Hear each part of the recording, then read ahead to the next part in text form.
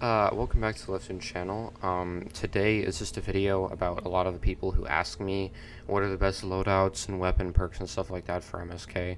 I already have a video about like what Mythic Storm King is and stuff like that, but this is just specifically for weapon loadouts and best perks and good weapons to use for MSK. And again, before the video starts, please make sure to use my uh, supported creator code lefzoon in the item shop when you buy stuff. So I know that like I have a bunch of stuff in the game, but I'm gonna I'm just gonna show you what like the best stuff is, even if you may not have it. I'll show you a couple alternatives and stuff for some heroes.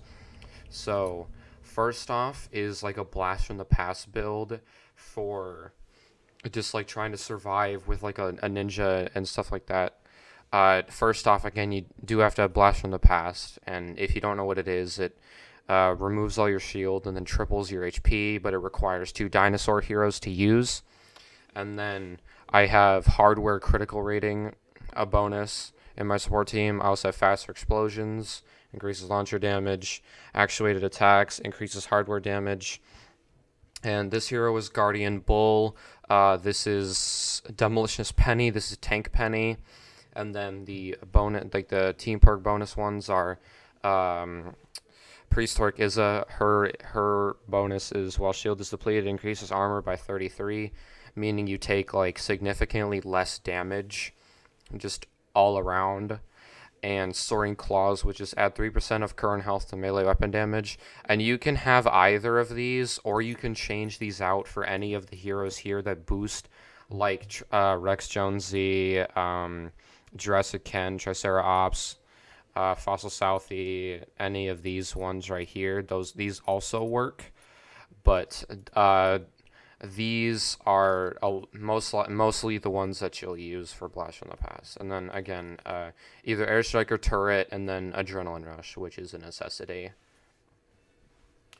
Next is a soldier build for MSK, and the goal of the soldier is to just like stay alive and provide boost to the ninjas and whoever, and like you and ninja people or any other people in your support team or any of the people in your squad going up and uh, breaking the horn. And uh, the commander here is Special Forces Jonesy, which his bonus is Warcry against grants 25.5% additional weapon damage and 25.5% movement speed. And you don't have to have exactly Special Forces Jonesy. A lot of people use Special Forces Banshee, and Special Forces Banshee is uh, available from the collection book, and you just get you can get her for flux. And again, Blast from the Past. Um, it doesn't really matter what Blast from the Past uh, heroes you have here. It it's it just has to be one of these here that are like good, obviously. And again, I got Guardian Bull and Tank Penny here for extra hardware damage, and then Demolitionist Penny along with the gadgets that I already mentioned. Now, this loadout is the loadout that you will always see me running in streams, which is a totally rockin' out build that you will be using to solo the horn. That is, if you want to solo the horn. Um, the team perk is totally rocking out, and the, the bonus for that is Rockin' Riff also increases critical rating by 160 and uh, heals a little bit of base health, and that requires two totally red heroes. Uh, in this loadout, again, I got the two hardware damage uh, heroes, Tank Penny, Guardian Bull, Demolitionist Penny, and then the different ones in this is uh, Breakbeat Wildcat, which is uh, her bonus is eliminating 10 enemies in 9 seconds, grants Rockin' Riff, which goes hand in hand with Totally rocking Out, which is the Rockin' Riff how you get it. Increases uh, damage by 50% and melee attack speed by 32%. That's what Rockin' Riff does and subwoofers, which is what you'll always see me getting. That's what you'll need to solo the horn. This is what grants you Rockin' Riff when you need it, and it's just always accessible when you have uh, subwoofers in your inventory. And uh, you get these by uh, harvesting metal objects, like what you'll see me doing in my streams and stuff like that.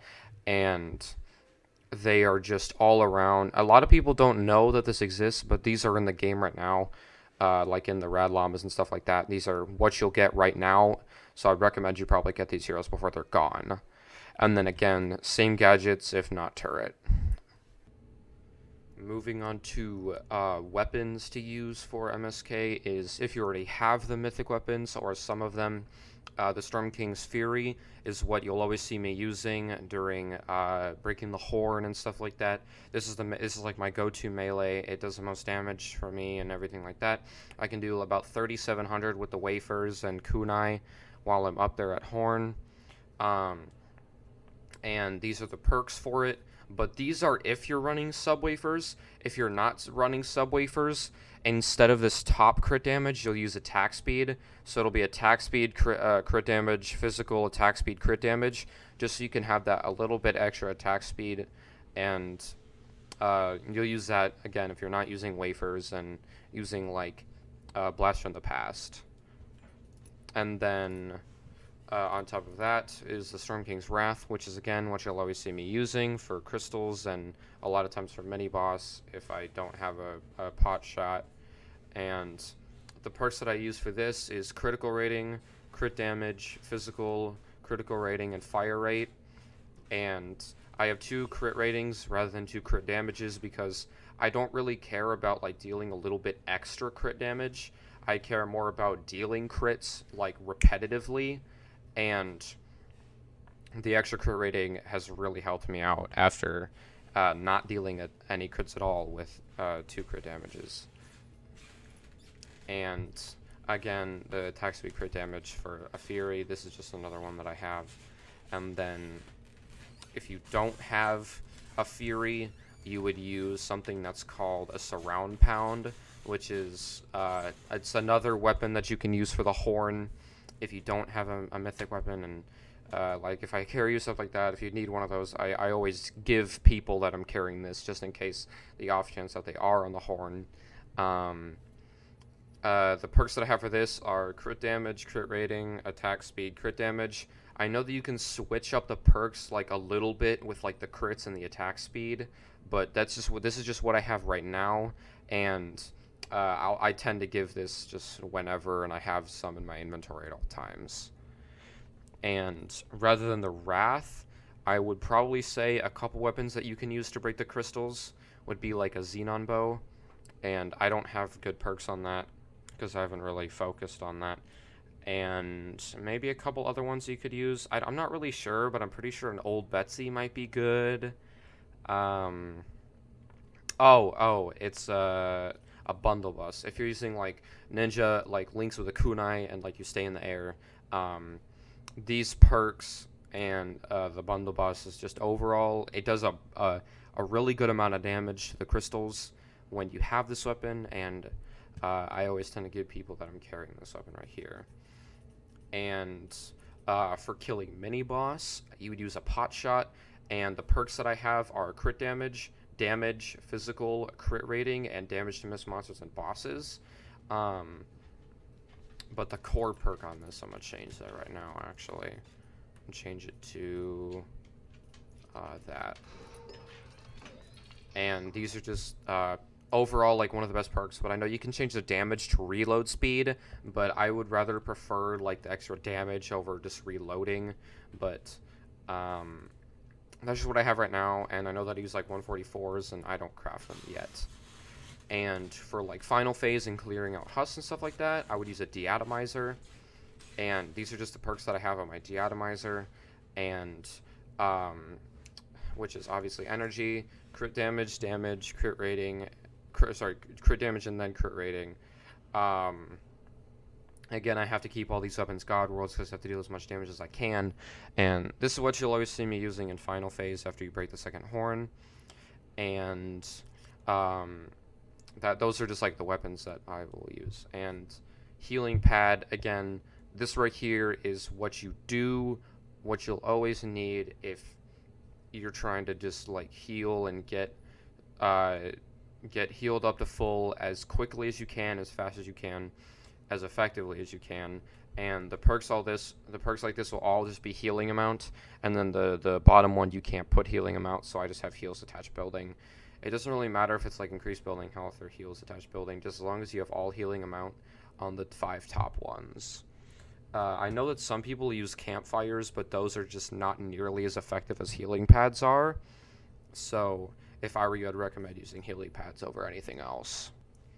And I know that a lot of the stuff in the video that I've already mentioned, um, they're not like a lot of times they're not really necessary. Like if you don't have any blast from the past heroes, you don't have any totally rocking out heroes. Um, you can just use like triple jump, and then obviously you just put ninjas in your loadout. It doesn't really matter what bonuses they have, but um, the only reason is blast in the past if you're trying to survive. But if you're like one person, if you're somebody who just wants to get carried in MSK, you just either run blast from the past, or it doesn't really matter what you have in your loadout or triple jump if you're just trying to get around and get away from everything as fast as you can and staying off the ground so you don't die. Um, and uh, another thing would be building materials. What's best to use would be uh, would be brick and metal.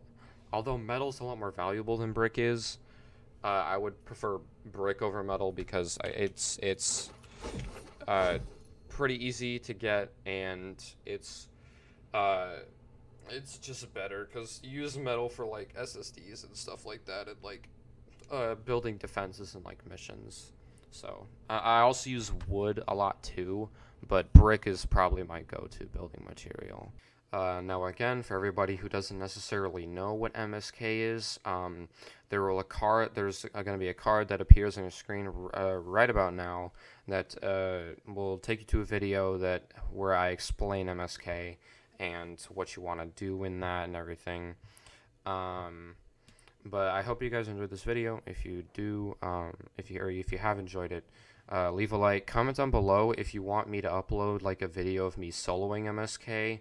Um, I know it'll take me a while, but I'm confident that I can do it because I I've I have more than enough experience, and I guess I just have to get the right luck for that. But um, please consider subscribing, liking this video, commenting down below anything that you may need help with or anything like that. And uh, again, use the code that I uh, put at the start of the video if you can, but otherwise you don't have to. And uh, um, I have a video coming out soon that, that I'm probably going to work on. It'll be about like getting all the exotic and mythic weapons and like battle royale, getting a win with those.